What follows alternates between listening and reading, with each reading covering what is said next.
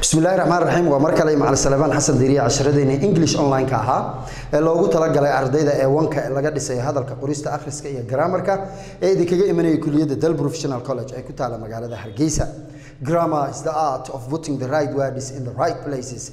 Grammar is the architecture of thoughts expressed in words.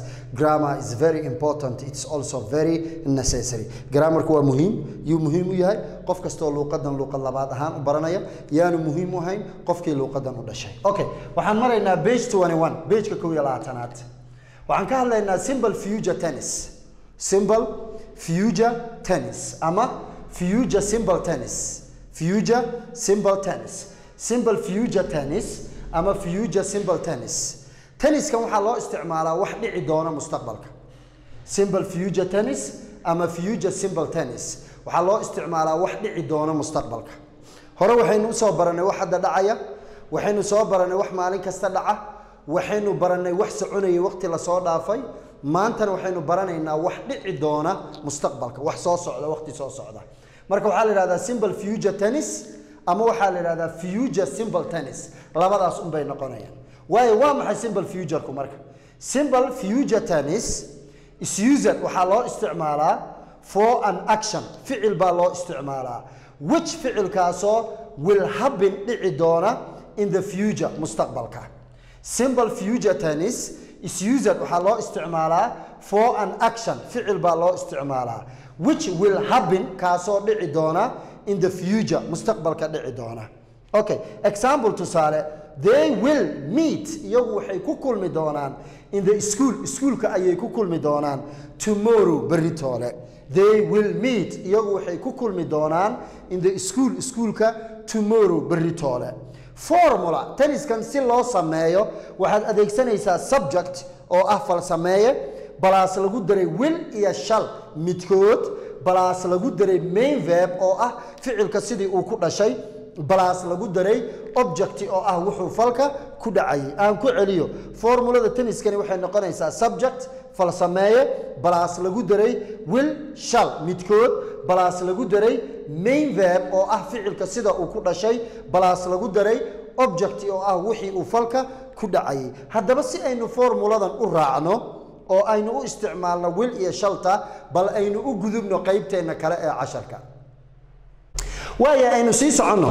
Tenniskan simple futureka ah ee waxa dhici doona mustaqbalka la rabo in looga hadlo formuladiisa waan soo sheegnay. Waxa weeyaan subject falsameeye balaas lagu daray will shal midkood balaas lagu daray main verb oo ah ficilki sida uu ku dhashay balaas lagu daray object oo ah wuxuu falka ku dhacayay marka tenniskan si aad u dhisto formuladan xusuusnow subject falsameeye balaas lagu daray will shal midkood balaas lagu daray main ficilka sida uu ku dhashay balaas lagu daray object objectiga. I iyo we marka aad adeegsanayso willna waad adeegsan kartaa shalna waad adeegsan kartaa. I iyo we marka aad rabto inaad isticmaasho willna waad odhan kartaa shalna waad odhan kartaa. He iyo she iyo it iyo theyna iyaga waxaa loo isticmaalayaa will sidaas darteed shaltu waxay raacaysaa i iyo we gebi willay wada qaataan i iyo wena waxay gaar u sii qaataan shal. Okay aan dib u soo noqdo ida iyo weda marka la adeegsanayo will iyo marka la adeegsanaya shal maxay ku kala duwan yihiin? Dhowr siyaabooda loo isticmaalaa. Ingiriiska casriga ah maanta marka ay su'aasha tahay aad hadalka rabto su'aal inaad ka dhigto adigoo i iyo we adeegsanaya unbaa shal la isticmaalaa. Sida shal i ma saasaan yeelayaa shal we ma sidaasaan yeelaynaa. Oo wuu diiday ingiriiska casriga ah totaliba in la isticmaalo wax shal la yidhaahdo okay?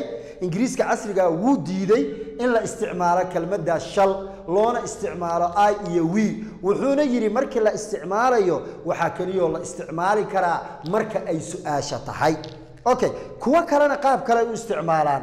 Will marka ay loo adeegsanaya i iyo we waa markii wax xaqiiqo ah la sheegayo. Shal marka loo adeegsanaya i iyo wena waxay noqonaysaa marka la sheegayo waxaadan hubin. Tusaale ka soo qaad qofaad rabtaa inaad tiraahdo waxbaan ku siinayaa haddii aad tiraahdo i will give you waxay u adag tahay ballan adag weeyaan. Laakiin haddaan dhaho i shall give you waan ku siin doonaa inaan ku siininna waa laga yaabaa ay noqonaysaa. Taasaa marka ugu muhiimsan war i iyo we wil markaad u adeegsanaysid waa wax xaqiiqo ah ood hubto marka aad shal u adeegsanaysidna waxaa loo isticmaalaa wixii aadan hee hubin. Tusaale qof aad rabtaa inaad been u sheegto i shall come to you. Waad dhihi kartaa waan kuu iman doonaa. Laakiin i will haddii aad tiraahdo waa wax xaqiiqa ah oo lagama maarmaan ah inaad samayso. Marka caddaanka i iyo we markay adeegsanayaan hadday will raaciyaan waa waxa ay hubaan. I iyo we markay adeegsanayaan hadday shal isticmaalaanna waa wax aanay hubin. Annaga marka tusaalayaal aynu ka bixino examples marna waxaan adeegsan doonaa will marna waxaan adeegsan doonaa shal hadduu ilaah yidhaahdo. Marka waxaan ka bilaabayaa shalta. Tusaale waxaan rabaa inaan dhaho waxaan ku hadli doonaa ingiriiska si wanaagsan. Maxaan leeyahay subjectiga soo qaado. I shall speak. Waxaan ku hadli doonaa english. Englishkaan ku hadli doonaa well si wanaagsan. Halkaas fiirso. I shall speak. Anigu waxaan ku hadli doonaa english englishka well si wanaagsan. Marka shal markaan adeegsada maxay iiga dhigan tahay? Inaanan hadalkaas hubin affirmative waa weedhi. Negative ayaan rabaa diidmo inaan ka dhigo. Not unbaa imanaysa. Maxay noqonaysaa? I shall not. I shall not speak. Anigu kuma hadli doono. English englishka kuma hadli doono. Well si wanaagsan. I shall not speak well. I shall not speak well. Anigu si wanaagsan uma hadli doono waxaan rabaa interrogative inaan ka dhigo su'aal. Waxaan rabaa inaan ka dhigo interrogative su'aal. Labadanaan isweydaarinaya maxay noqonaysaa? Shall i? Shall i speak? Anigu ma waxaan ku hadli doonaa english englishka. Well si wanaagsan. Shall i speak english well? Anigu ingiriisku ma si wanaagsan baan ugu hadli doonaa. Question with negative. Waxaan rabaa su'aal iyo diidmo inaan ka dhigoon idhaahdo anigu miyaanan ugu hadli doonin ingiliishka si wanaagsan. Sidaas darteed waxaan leeyahay shall i not shall i not speak english well shall i not speak english well ingiliishka miyaanan si wanaagsan ugu hadli doonin waayahay halkaas u fiirso affirmativeka markay tahay waxaa leeyahay i shall speak english. English baan ku hadli doonaa.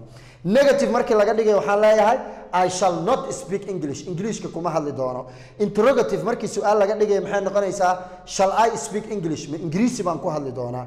Question with negative su'aal iyo diidmo markii laga dhigayana waxay noqonaysaa shall i not speak english? Anigu miyaanan ku hadli doonin ingiliishka okay waxaa jira qaab kale oo old use ah oo shalta iyo nodda la isku dari karo. Shal iyo nod ayaa la isku dari karaa qaabkaasi waa old use isticmaalkeedu hadda ma badna. Oo maxaa la leeyahay? Shanti i speak english. Shanti i speak english. Oo waxay noqonaysaa shanti i speak english. Shant i speak english ayay noqonaysaa. Oo maxaa la isku daray? Shal iyo noddi. Shal iyo noddi ayaa la isku dari karaa. Oo maxaan dhihi karaa? Shant i speak english laakiin shanti markii la adeegsanayo waa old use ama ingiliishi qadiim ah. Bal wiltana aynu isticmaalno wiltana aynu isticmaalno. Waay xabad wila aynu isticmaalno. Okay. Wilaan rabaa inaan adeegsado. Waa matalan isaga ayaan qaadanaynaa oo wil qaata. Haye he will tell wuxuu sheegi doonaa the truth runta he will tell the truth runta ayuu sheegi doonaa. He will tell the truth. He waa subjectigii wilay qaadatay. Tell waa main verbkii the truthna waa objectigii waay negative rabaa inaan ka dhigo. Maxay noqonaysaa? He will not. He will not tell. Isagu ma sheegi doono the truth runta. He will not tell the truth. Isagu runta ma sheegi doono. Su'aalaan rabaa inaan ka dhigo wiltan ka bilaabaya. Maxay noqonaysaa? Will he tell? Will he tell? Isagu ma wuxuu sheegi doonaa the truth runta will he tell the truth? Isagu runtuu sheegi doonaa will he tell the truth? Isagu runtuu sheegi doonaa question with negative. Waxaan rabaa su'aal iyo diidmo inaan ka dhigo. Waxaan leeyahay will he not? Will he not tell the truth? Isagu miyaanu sheegi doonin runta will he not tell the truth? Isagu miyaanu sheegi doonin runta waaya marka affirmativeka u fiirso he will tell wuxuu sheegi doonaa the truth runta. Negative markaa ka dhigay maxay noqonaysaa? He will not tell. Isagu ma sheegi doono the truth runta. Interrogative su'aal markaan ka dhigayo will he tell? Ma wuxuu sheegi doonaa the truth runta. Question with negative su'aal iyo diidmo markaan ka dhigayna waxay noqonaysaa? Will he not tell? Miyaanu sheegi doonin the truth runta. Isna wuxuu leeyahay old use will iyo not marka la isku darayo waxaa la yidhaahdaa wont. Maxaan dhihi karaa haddaan rabo wont he tell isagu miyaanu sheegi doonin the truth runta. Sidaasna waa loo dhihi karaa su'aashii diidmada. Not marka la isku daro maxay noqonaysaa? Wont he tell the truth? Ayay noqonaysaa. Laakiin waa hab waa macalin salaamaan xasan diiriye oo idin leh casharkan cashar la mida in inta aynu ku kulmi doono. Salaamu calaykum waraxmat ullaahi wabarakaatu